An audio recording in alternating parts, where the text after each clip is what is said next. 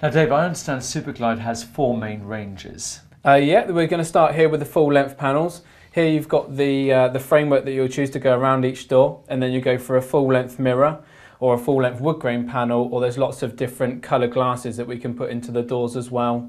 Now notice as you move the panel there, it's incredibly light and really, really quiet, isn't it? Yeah, that's one of our trademarks. Um, the doors are very strong and robust, but at the same time very smooth and quiet.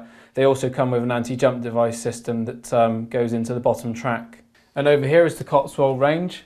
Again, you can have the full length mirror. People like to use mirrors to um, bounce the light around and also the mirrors give a room a sense of space. Another option with Cotswold doors is to add in the routed panels. Yeah, that looks really, really nice. Now over here, Okay, yeah, first I'll show you the Oriental doors. These come with two bars per door, but we can add in extra bars to suit you. Uh, they come with a very dark frame and the white glass that goes straight through. It gives it a very Japanese look. And then moving on to the Millennium doors, these doors are really good. Um, again, you can add more bars in. You can change the colour that goes into the top, middle and bottom. Also, you can change the proportion of the central section. So it's really flexible system. Now, how about if you want to maybe mix and match the styles? Uh, yeah, we can make everything and manufacture everything that you want. So just give us a call and we'll give you a quote.